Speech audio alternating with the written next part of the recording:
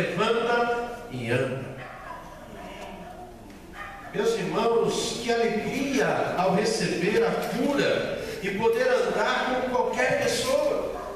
Algo acontece na vida daquele aleijado, algo acontece na vida daquele coxo, que ele não estava esperando, que ele nem imaginava que ia acontecer. Ele foi curado pelo poder, não de Pedro e nem de João, mas ele foi curado pelo poder de Deus. E aqui eu destaco a figura do apóstolo Pedro. O apóstolo Pedro, meus irmãos, era um homem que mantinha uma vida de devoção. Tanto é que ele estava indo à igreja para orar. Era um homem que, após a, a, a ressurreição de Cristo, a ascensão de Cristo, ele mudou radicalmente. Antes, aquele homem totalmente é, questionador, aquele homem que questionava as palavras do Mestre, dizendo: Não, o senhor não vai morrer. Olha, eu quero andar nas águas como o senhor anda. Olha, ele muda. Aquele homem medroso que foge e nega Jesus três vezes. Ele agora está transformado, está mudado, foi restaurado. E ele prega com autoridade. Nós vimos no capítulo 2 em quase 3 mil almas se rendem a Jesus.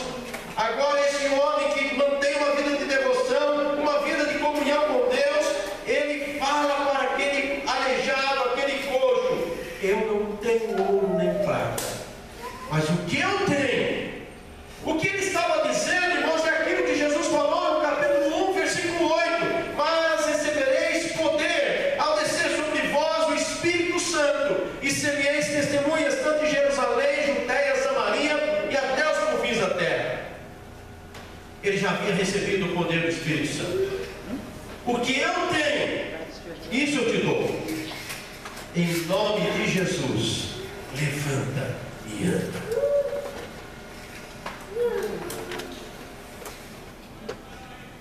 O apóstolo Pedro, meus irmãos,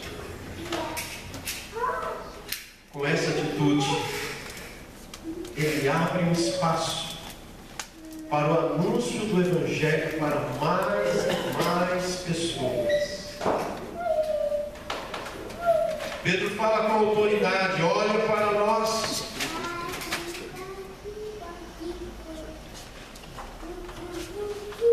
O que eu tenho, isso eu te dou. Imagine se o apóstolo Pedro, nesse momento, estivesse mal espiritualmente falando. Imagine se nesse momento o apóstolo Pedro estivesse fraco na sua fé, fraqueza espiritual. Às vezes temos alguns momentos de altos e baixos e pedimos ajuda, ore pela minha vida, não estou bem espiritualmente, eu estou sofrendo, estou desanimado, eu não tenho desejo de orar, eu não tenho desejo de ler a Bíblia, eu não tenho desejo de testemunhar, eu, eu, não- eu não sei o que está acontecendo comigo, estou fraco espiritualmente. Uma pessoa fraca espiritualmente, ela não tem o que oferecer a ninguém. Uma pessoa fraca espiritualmente, ela não vai dar o que ela não tem. Mas o apóstolo Pedro estava fortalecido na palavra. O apóstolo Pedro estava vivendo um momento de comunhão com Deus. O apóstolo Pedro estava cheio do Espírito Santo de Deus e por isso ele pôde dar o que ele tinha. Meus irmãos, quando nós somos deparados por pessoas na rua, o que é que nós podemos oferecer a elas? Quantas e quantas vezes eu ouvi pessoas dizendo: Eu não sei o que falar, eu não sei, eu não tenho como falar, eu não tenho nada para falar, e infelizmente às vezes não tem mesmo. Porque uma pessoa cheia do Espírito Santo, ela sabe o que falar. Mesmo que nunca estudou, não é estudo formal, é a sabedoria de Deus. Amém? Não é a escolaridade que conta aqui, não. Esse caso é ser cheio do Espírito Santo de Deus, ser um homem, uma mulher de Deus. Você vai dar o que você tem. Você vai oferecer aos homens e mulheres que estão à margem da sociedade o que você tem. E o que é que você tem?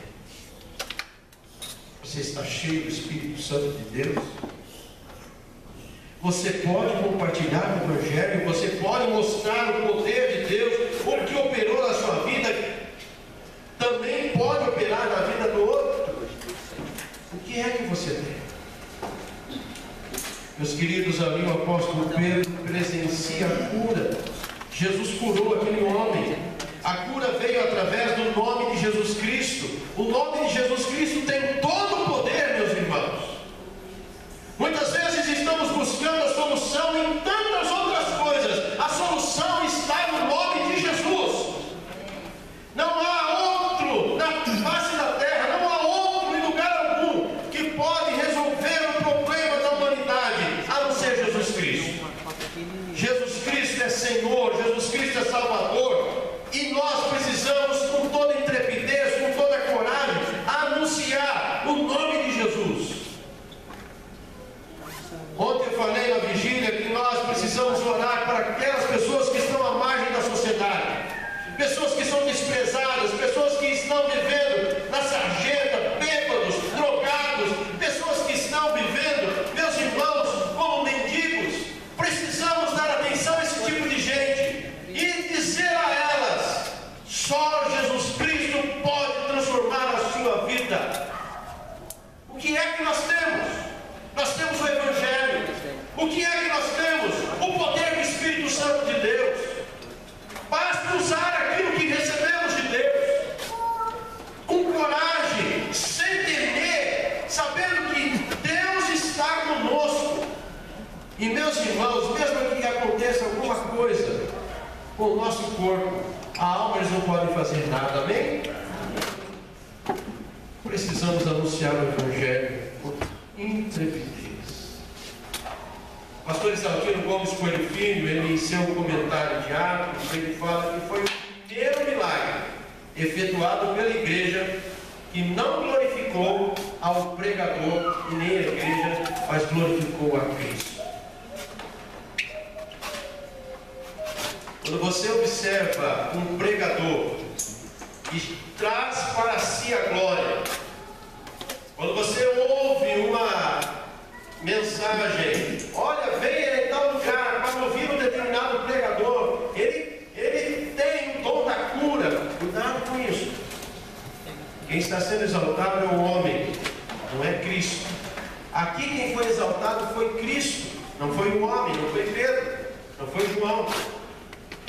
Quem curou foi Jesus. Em nome de Jesus, levante anda.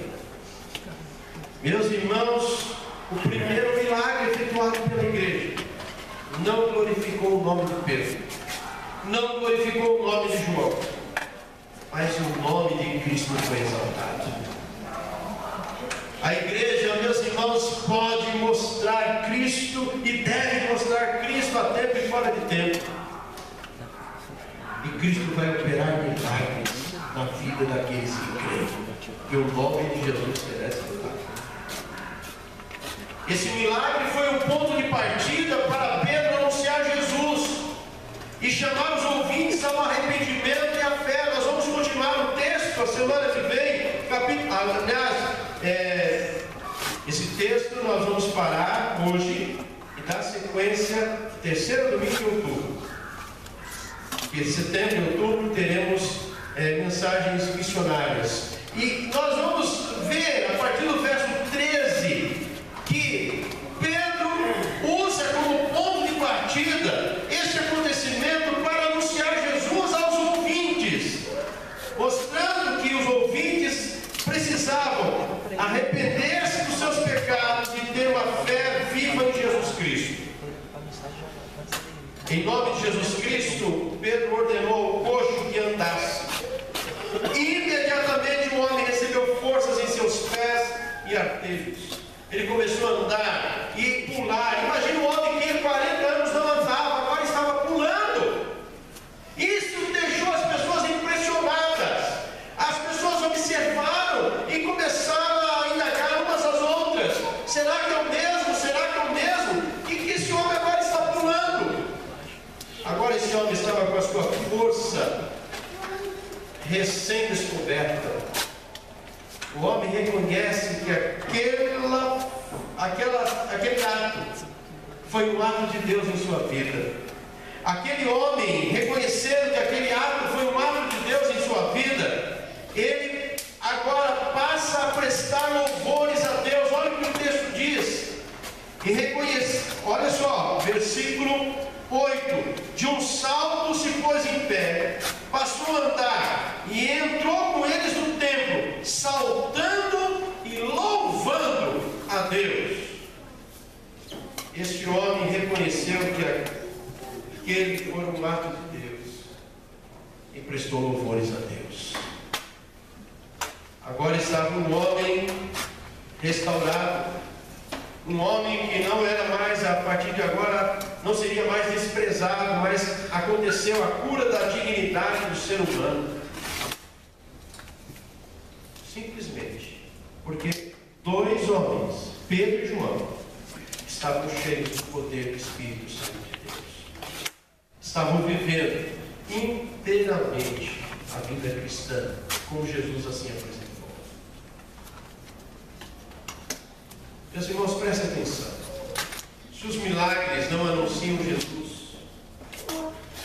se os milagres glorificam o pregador e não a Cristo, se os milagres ele traz dividendos para o movimento religioso e não para Cristo, se os milagres é um motivo para angariar fundos, angariar dinheiro, para fazer muitos pedidos de dinheiro, o foco está totalmente equivocado.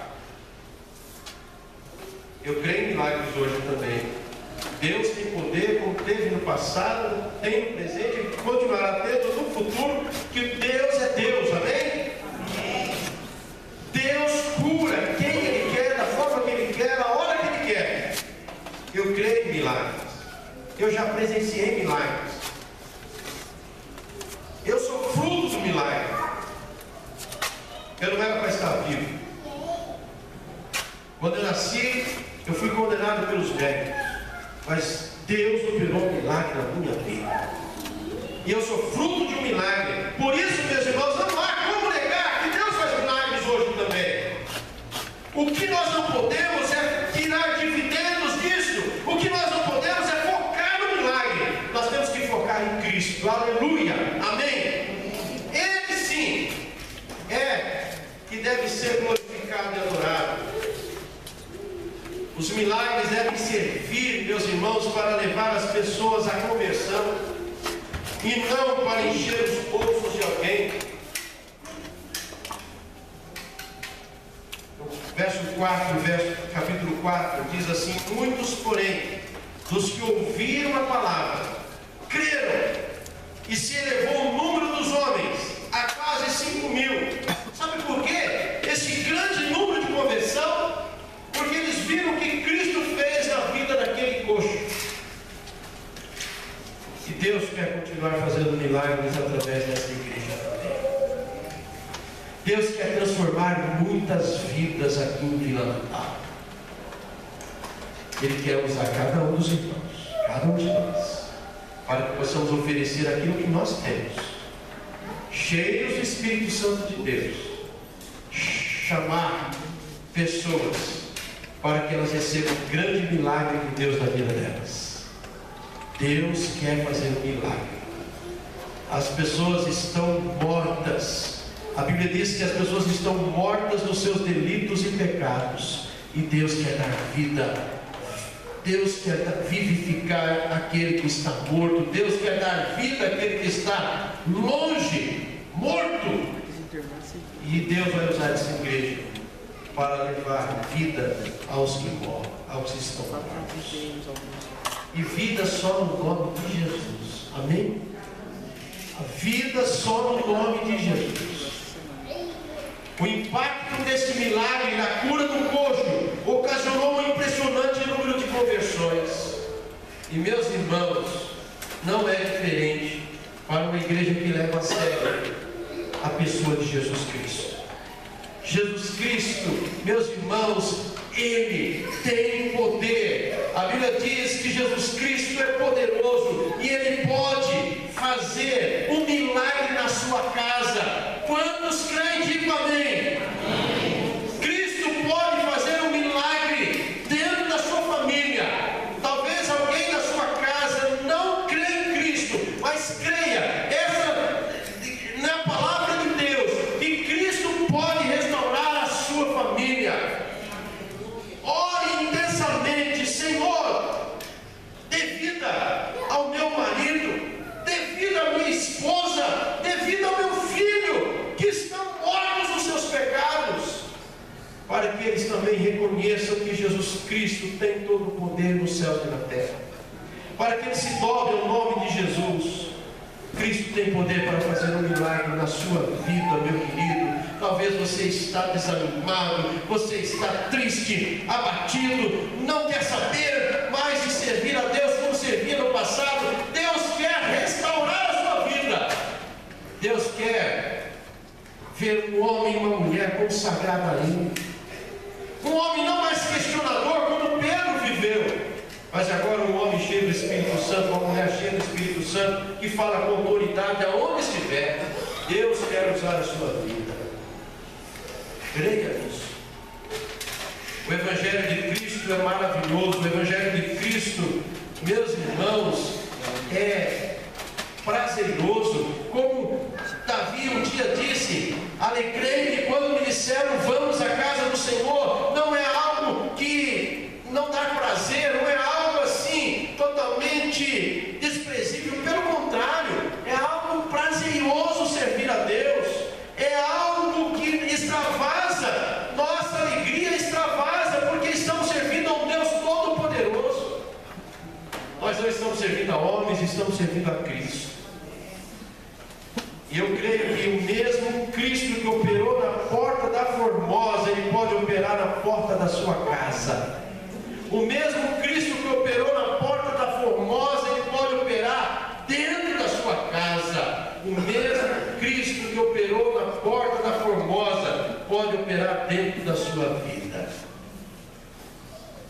Que Deus te abençoe, meu querido. Que Deus te dê cada dia mais alegria. Que Deus te dê cada dia mais unção do alto, para que você fale com as pessoas que estão precisando de um milagre e que essas pessoas se rendam a Jesus Cristo. Para você, às vezes, não tem mais jeito. Caso a pessoa não tem jeito, tem sim. Jesus Cristo tem poder para mudar um quadro tão negativo, tão complicado que a pessoa está vivendo. Deus quer usar a sua vida como instrumento dele para levar vidas àqueles que estão mortos. E você vai observar aquele homem que era desprezado, aquela mulher que era desprezada na sociedade, saltando de alegria, louvando, adorando o nosso. Você vai orar junto com ele dentro do templo, dentro da igreja. Juntos vão servir a Deus no mesmo lugar para a glória de Deus.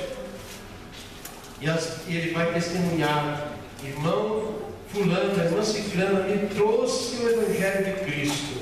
Eu que vivia longe, estava morto nos meus delitos e pecados, agora eu sou vivo, tenho vida e glorifico o nome de Deus. Meus irmãos, que os nossos cultos sejam um ato de testemunho todo domingo. Todo domingo, vidas possam estar testemunhando aqui na frente de, do milagre que Cristo operou na vida. Meus irmãos, precisamos orar para que os nossos cultos sejam um ato de testemunho dominical. Batizando todo mês, batizando todo mês pessoas que estavam mortas e agora vivem pelo nome de Jesus. Quantos creem que isso pode acontecer aqui? Amém. Amém. Que Deus use a sua vida. Ore pelas pessoas que foram convidadas para estar conosco nessa semana, esse final de semana, no aniversário desta igreja. Jesus Cristo quer mudar vidas. Jesus Cristo quer operar um grande milagre. Isso vai acontecer. Creio que você pode ser usado